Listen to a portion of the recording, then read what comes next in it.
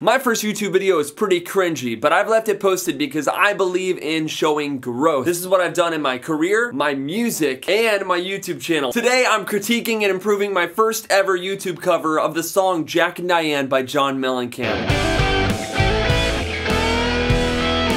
My name's Trevor Hunt. If you're new here, thanks for coming. If you're not new here, welcome back. I'm glad to see your beautiful face. What we're gonna do is watch a chunk of the video together and then I'm gonna tell you every single detail I would improve. Then I'll show you the improved shot.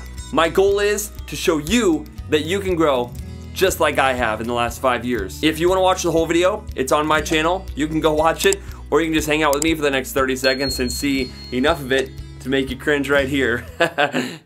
Let's jump in.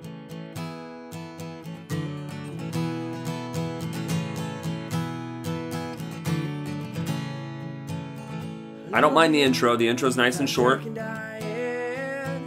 Two American kids growing up in the heartland.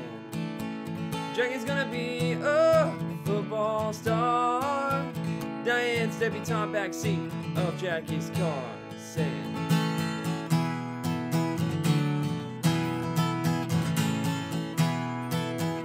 Okay, I want to stop it there. That was about 30 seconds of the song. What I'm gonna do, because I have a lot of thoughts flowing through my head and I don't wanna get distracted, is I'm going to make two lists on the video for you. I'm gonna do video and audio. I'm gonna critique both of those. So in a second, you'll see them pop up as I read them off. I think it'll be easier for you to see them while I say them. That way you can see exactly what I would switch if I were like the producer of the next video. We're gonna start with how it looks right now. The angle of the shot is not good. I remember setting a MacBook Air up and just on like a TV stand and it was pointing kind of like under my chin, which just feels awkward to me. I would lift it up to where it was kind of doing a downward angle to catch more of the guitar and kind of more of the shot as well. The lighting is bad. That lighting is legitimately just windows and I think maybe a garage lamp light, if I remember right. There's no depth to the background. I'm sitting right against the wall, which is a huge mistake if you want to give depth to a video. You need to be closer to the camera and have the wall deep behind you. The next thing, I think the clothes that I'm wearing are extremely boring and unartistic. If you're gonna post something that's a cover and you want it to be at all capturing visually, you need to wear something that's interesting visually. Next thing I would do is stop looking into the camera. I remember doing this my biggest concern was I don't want to mess up. It was so bad that I didn't perform the song. I just kind of, oh yeah, life goes. I was so nervous that I couldn't even get into it. And I felt like I had to stare at the people watching me the whole time. It's weird. Like if someone sang this live and was just staring at you, you'd be like, what is wrong with this guy? I hate it.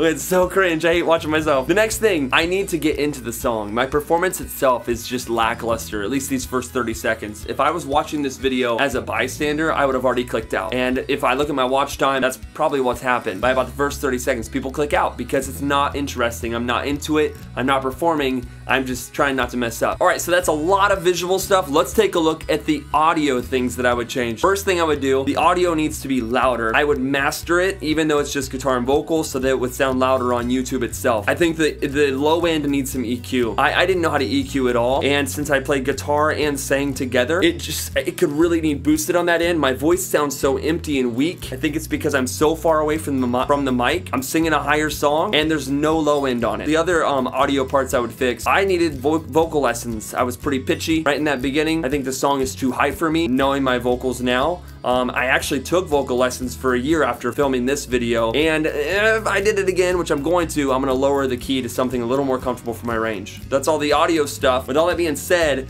take a look at my new and improved version, at least the first 30 seconds, of Jack and Diane.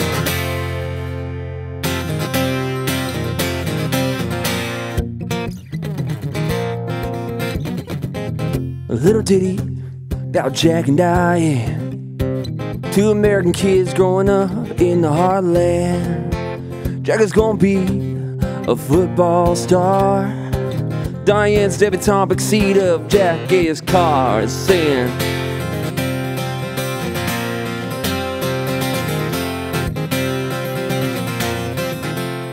Now that we've seen the improvements, please know This isn't just so that I can like do some weird flex and show people how much better I've gotten, but instead, I'm hoping that I can inspire anyone pursuing any pursuit, mainly musicians, that if you keep working, you can get better. There's so many aspects of performance that we need to get good at, and that takes time. That takes time. I, I once heard Ed Sheeran say, you've got to put in a thousand shows before you get good. You've got to get through the junk before you get to the good. Also, I know this cover isn't perfect. I'm not the best musician in the world, but I'm working on it. I'm growing, I'm improving, and that's my point here, people. That's my point. Let me know in the comments if you think I made it better and if you'd like to see me do this again. I've got plenty of cringy covers we could improve upon, baby. Thank you so much for watching. If you haven't yet, like the video, subscribe. God bless you and your family. And as always, take it easy. Oh yeah, they say life goes on long after the thrill of living is gone. Gonna let it rock. Nothing, check it says then.